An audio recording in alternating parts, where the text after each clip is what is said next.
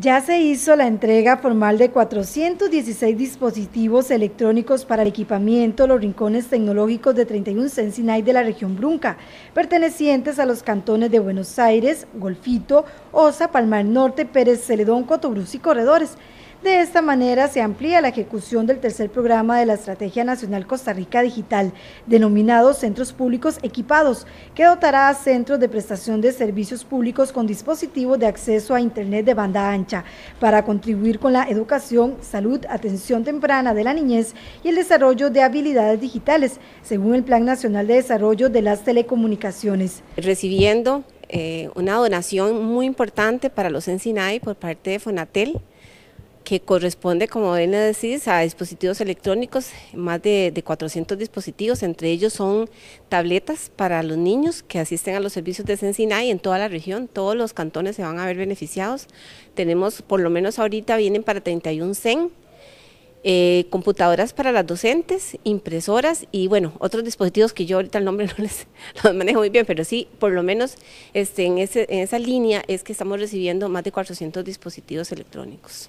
Durante esa entrega se dotó de tabletas, portátiles, diademas con micrófonos, carros de carga para computadoras, además de proyectores, adaptadores e impresoras con un valor de 268 mil dólares. Para Sensinay, nosotros como institución siempre nos hemos caracterizado por eh, la innovación, la innovación, por las oportunidades que les damos a nuestros niños, ¿verdad? Sobre todo en esta región con tanta brecha este, esto es parte de ese, de ese acortamiento, de esa brecha que hay en las comunidades, ¿verdad? Y sobre todo en nuestras poblaciones de escasos recursos. Es una oportunidad que van a tener nuestros niños y niñas de enfrentar este siglo, este siglo XXI donde es la era de la informática, donde todavía convivimos generaciones que crecimos sin esto, ¿verdad? Y que tuvimos que a la edad de adultos pues empezar a conocerla, pero que ellos prácticamente nacieron en una época y una era de la informática donde es una necesidad, es un reto, pero se vuelve una herramienta eh, indispensable. Los centros que recibirán el equipo fueron seleccionados por las instituciones involucradas y se encuentran ubicados en zonas a las que se ha llevado conectividad en el marco del primer programa de la estrategia, Comunidades Conectadas.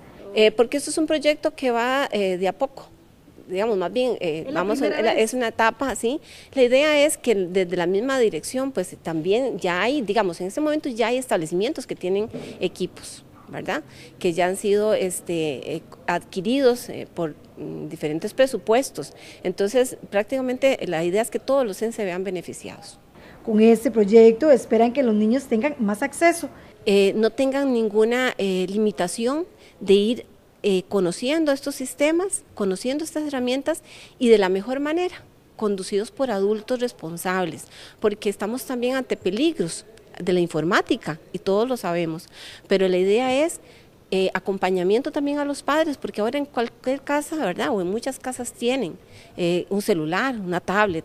Entonces la idea es que podamos desde Sensinada hacer acompañamientos, eh, guiarlos, desarrollar destrezas. Esto es, se presta para muchos desarrollo de sus destrezas motores, toda la parte de creatividad, etcétera, ¿verdad?